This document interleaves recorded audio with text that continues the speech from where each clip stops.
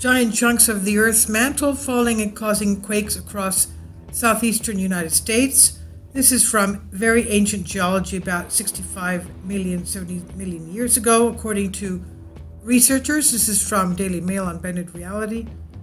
The southeastern United States hit by a series of strange, unexplained earthquakes.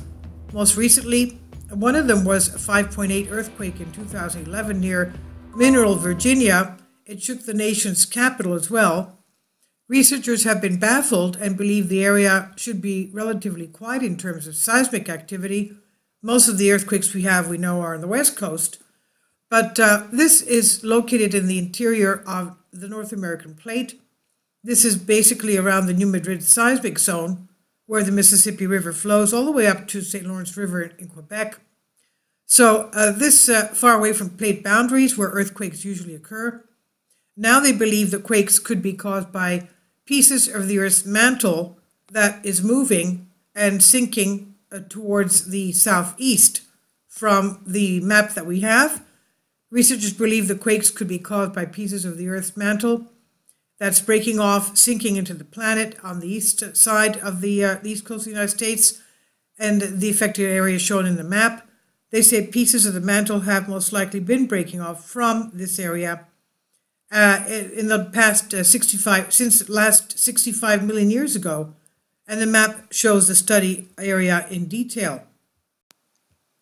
So this is the geology of the uh, eastern United States. Most of us don't know what's happening there, but this new study found pieces of the mantle under this region have been periodically breaking off, sinking down into the earth, and this thins and weakens the remaining plate, making it more prone to slipping that causes earthquakes. The study authors conclude this process is ongoing and likely to produce more earthquakes in the future. This is basically, uh, as we know, Mississippi all the way to uh, St. Lawrence River, basically the New Madrid seismic zone, which is actually a rift valley. It's, it should be called New Madrid Rift Zone. Kindly support my Patreon account. The daily posts are five videos daily, and they are totally different from what I have on my YouTube channel.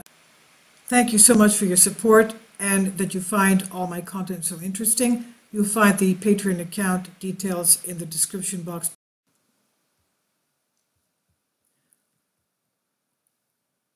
The, uh, our ideas support the view that this seismicity will continue due to unbalanced stresses in the plate, said Berk Biryol, seismologist at the University of North Carolina, Chapel Hill. He's the lead author of this new study. The seismic zones that are active will continue to be active for some time, he says. The study was published in the Journal of Geophysical Research, Solid Earth, a journal of the American Geophysical Union. The team wrote, based on distinct variations in the geometry and thickness of the lithospheric mantle and foundering lithosphere, we propose that piecemeal delamination has occurred beneath the region throughout the Cenozoic, removing a significant amount of reworked, deformed mantle lithosphere. Compared to earthquakes near plate boundaries, for example, near the west coast, we have the uh, North American plate uh, overriding the Pacific plate, which is subducting. So, compared to earthquakes near plate boundaries, earthquakes in the middle of plates are not well understood and the hazard they pose are difficult to quantify. A new finding could help scientists here better understand the dangers these earthquakes present. And uh, as we know, currently the southeast United States is more than 1,056 miles from the nearest edge of the North American plate, which covers all of North America, of course, Greenland, and parts of the Atlantic and Arctic Oceans. But the region was built over the past billion years by period, uh, periods of accretion when new material is added to the plate and rifting when plates split apart. And researchers initially suspected ancient fault lines or pieces of old plates extending deep in the mantle following episodes of accretion, and rifting could be responsible for earthquakes in the area. Biryol said this region has not been active for a long time, and we're intrigued by what was going on and how we can link these activities to structures in the deeper parts of the earth. Biryol said this was interesting finding because everybody thought that this is a stable region and we would expect regular plate thickness.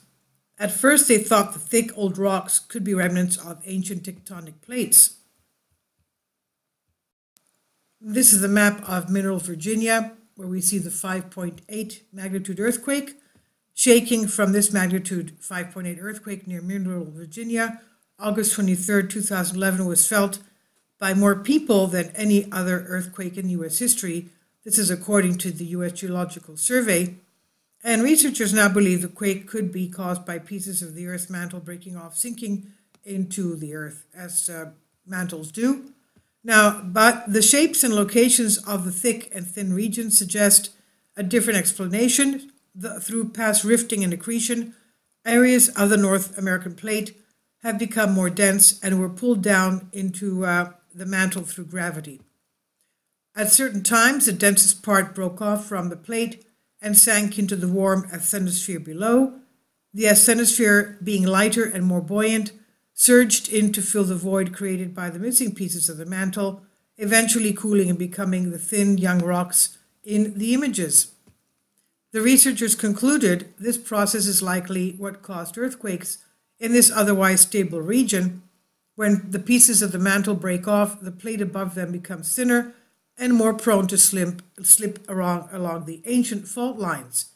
Typically, the thicker the plate, the stronger it is, and the less likely to produce earthquakes. According to Biryol, pieces of the mantle have most likely been breaking off from underneath the plate since at least 65 million years ago. So this has been going on for quite a long time. Because the researchers found fragments of hard rocks at shallow depths this process is still ongoing and likely to continue in the future, potentially leading to more quakes in the region, he said. And by coincidence, right now we'll go to the map showing us that we've had a 3.3 magnitude earthquake in uh, South Carolina, and about three hours later, a 2.5. And the 3.3 was uh, basically reported by USGS by over uh, 3,000 people, 3,106. Let's take a look at the map.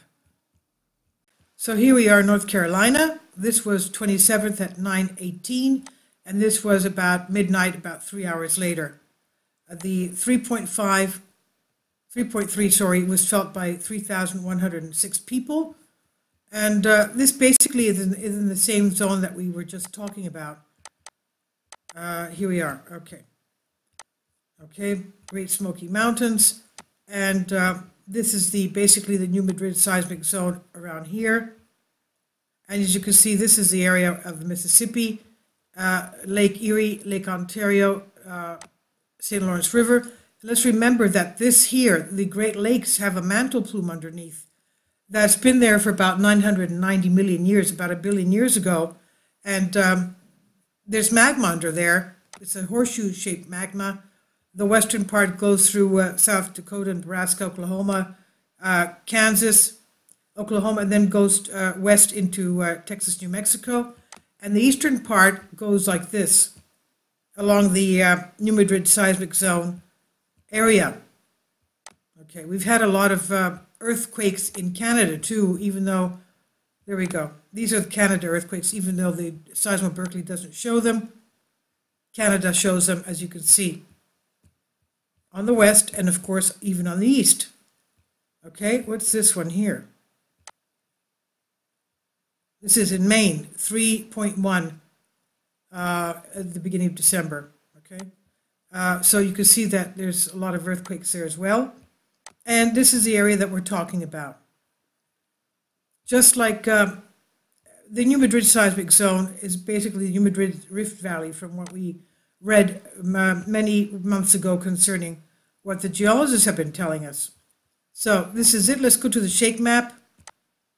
And um, as we said, they really don't know where the fault lines there are because there's not that many earthquakes there. But this is the area that we're talking about. And let's go to the aerial. And you can see basically uh, this is, uh, there's uh, 10 times more shaking on the east than on the west coast. And if you extend, of course, USGS stops the frequencies there, but if you extend them, They probably go all the way up here, Richmond, Virginia. I wouldn't be surprised if, uh, you know, Jacksonville, Florida felt this as well. And um, going back to this, uh, let's go in a little bit. We'll be able to get that earthquake, the uh, big one. 3.3 and 2.5. Okay, the 3.3 and oh, they don't have the details, but of course, uh, many times we've read that you can feel the earthquakes there because it's soft sediment soil. You can feel this 10 times more than you feel it, this 3.5, 3.3 magnitude earthquake on the west coast. So all of you there, please be very careful. Please leave your comments and thank you for your support.